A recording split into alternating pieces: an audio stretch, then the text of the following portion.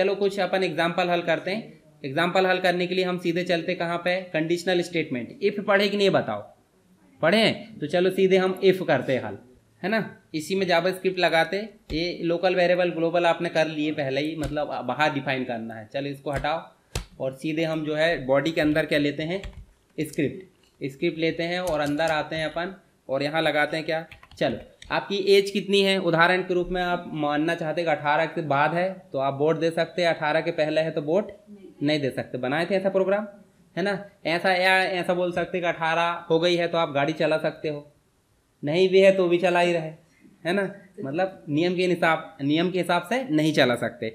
तो ए की वैल्यू कितनी है? अठारह। अच्छा ए की वैल्यू नहीं। ए वेरिएबल एज अठारह। उसके बाद अपन लगा देते हैं क्या? इफ़ और इफ़ लगाओगे, अंदर क्या देना है?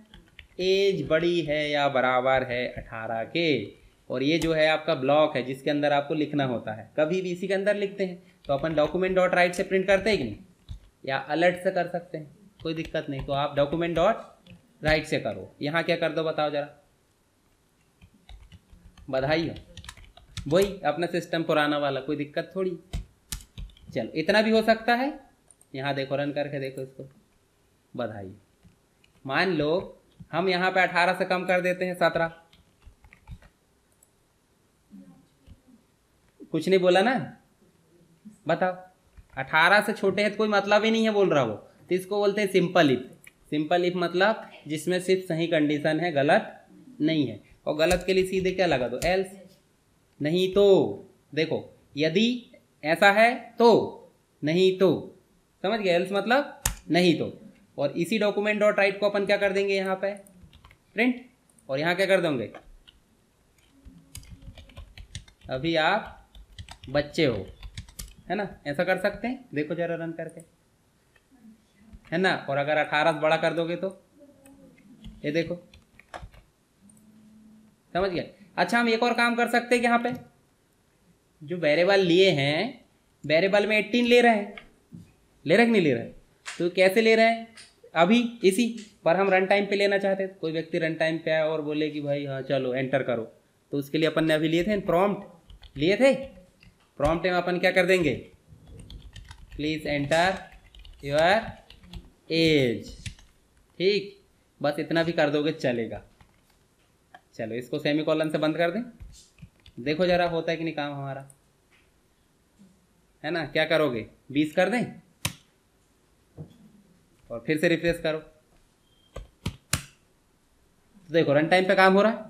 मतलब आपको तुरंत अगर एंटर नहीं मतलब पहले से एंटर नहीं करना है तुरंत करना है तो आप प्रॉम्प्ट ले लो। और नहीं तो आप यहाँ डिफाइन कर देना कोई दिक्कत थोड़ी। तो ये अच्छा है कि वो वाला अच्छा था? ये अच्छा है वही अच्छा है? हाँ। तो ये वाला आप कर लेना। अच्छा ऐसा भी तो हो सकता है। ये एज के अलावा आप दूसरा प्रोग्राम बनाओ। चलो नया ये रहने दू के फिर रहने दू? हाँ चलो। मैं फिर एक काम करता हूँ, नया पेज लेते जाते हैं, है ना? इसको सेव एस करते जाते हैं। इसका नाम रख देते हैं अपन इफ़ कौन सा इफ़ है? इफ़ एल्स है। If else dot H T M L ठीक है? और एक और सेव एस कर लेते हैं इसको। नेस्टेड इफ़ एक और होता, बहुत सारे इफ़ आते हैं। Nested if dot H T M L ये प्रोग्राम दे दूँगा मैं। तो अब देखो, इसको हटा देते हैं। ये पूरा हटा दो। पूरा हटा दो, ये प्रॉम्प्ट रहने दे। अब आप बोलोगे कि परसेंटेज लेना हमको। परसेंटेज भी होता है ना परसेंटेज में दो दो ही कंडीशन रहती है क्या? कि साठ परसेंट और पचास, क्या रहता है? ए ग्रेड बी ग्रेड बनता है कि नहीं?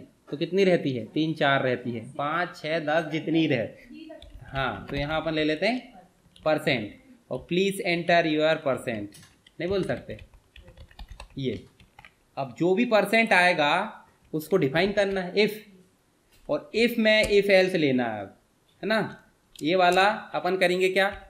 यदि परसेंट बड़ा है या बराबर किसके? सेवेंटी फाइव के। तो इस जो स्टेटमेंट है, इसके अंदर अपन क्या प्रिंट कर देंगे? डॉक्यूमेंट डॉट डॉट राइट क्या होगा बताओ जरा? ए ग्रेड है ना? इस प्रकार। और ये सेमी कॉलन से अपने टर्मिनेट कर दी। हाँ या ना बस नहीं रहता। एल्स के बाद इफ़ भी होता है। क्या होता है? इफ़ तो यहाँ पे फिर से लिख देंगे अपन क्या? रुक जाओ। ये आपका ब्रैकेट रहेगा और फिर से आप डिफाइन करोगे क्या? बताओ परसेंट को।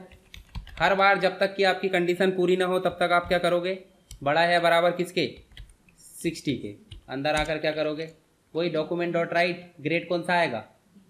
बी आ जाएगा। अरे अपन मान लो बी ग्रेड है, क्योंकि नब्बे नब्बे वाले पे रहते, हैं है ना? तो ऐसे ही एल सी पे एल सी कब तक चलेगा आपका बताओ? जब तक कि आपकी कंडीशन परसेंट कितना हो जाएगा? पचास तो यहाँ क्या हो जाएगा? सी और कुछ नहीं रहेगा तो? क्या होगा? कुछ नहीं रहेगा तो क्या होगा? डी तो यहाँ क्या कर देंगे? डॉक्यूमेंट डॉट राइट ठीक है? डॉक्यूमेंट डॉट राइट में क्या कर दोगे? डी ग्रेड इसके लिए अपन मार्कशीट वाला प्रोग्राम भी बना सकते हैं कि भाई कितने मार्क्स मिले हैं। वही वाला जो बताया था मैंने। ठीक है, चलो इसको रन करें। करें एंटर कितने परसेंट चाहिए आपको? सेवेंटी सिक्स कर दो। है ना? रिफ्रेश करो। सिक्सटी टू कर दो सिक्सटी फोर फिर से रिफ्रेश करो। फिफ्टी फाइव करो। फोर्टी फाइव करो। सब काम कर रहा है? तो ये क्या होगी? मल्टीपल कंडीशन मतलब एक हुआ आपका सिंपल इफ़ इतना बस। एक हुआ इफ़ के साथ में एल्स और एक हुआ इफ़ के साथ में एल्सिफ देखो मतलब if else if else if फिर एल्सिफ एल्सिफ चलते जाएगा। तो तीन प्रोग्राम हो गए, ठीक है? अब देखो कंडीशनल स्टेटमेंट में आपका सिंपल इफ़ हो गया एल्सिफ हो गया। अब एक और होता है स्विच स्विच भी एक प्रकार से ढेर सारी कंडीशन वाला होता है। जैसे वेरिएबल में अपन दे देते हैं, वर। चलो, स्विच का मतलब होता है, बताओ बोर्ड में स्विच लगा कि नहीं? तो वो स्विच क्या काम करता देखो जरा।